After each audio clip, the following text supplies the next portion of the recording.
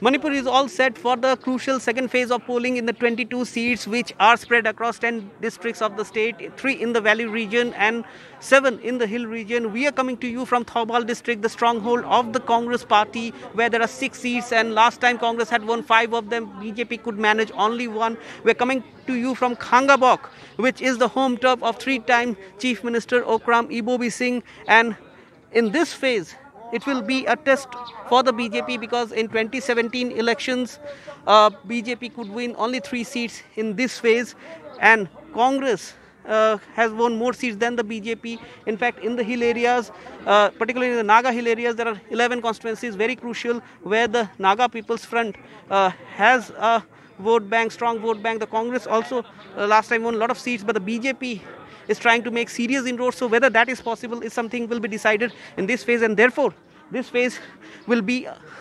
Uh, this is a phase where uh, perhaps uh, the decision will be made whether the BJP can actually this time come out with an absolute majority in Manipur or not and therefore it is a make or break election and right from the morning you can see this, those long queues outside polling booths now over 8 lakh voters are uh, going to cast their uh, votes to decide the fate of 92 candidates which includes only two women candidates although women actually outnumber men in the voters list in this phase just like the previous phase. Now in the run up to the second phase of elections there have been a series of uh, violence as well because in this phase along with the 22 seats there are also uh, repolls taking place in five constituencies 12 polling booths 12 polling stations in five con- constituencies where evms were damaged in the first phase. So therefore uh, elaborate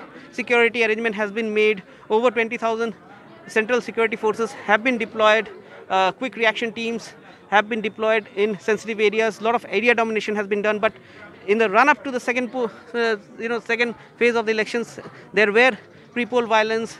So this is something that the election commission will also be worried about but at this moment polling has started in manipur for the second phase and it's going to be an intense poll battle for the second phase in 22 uh, seats.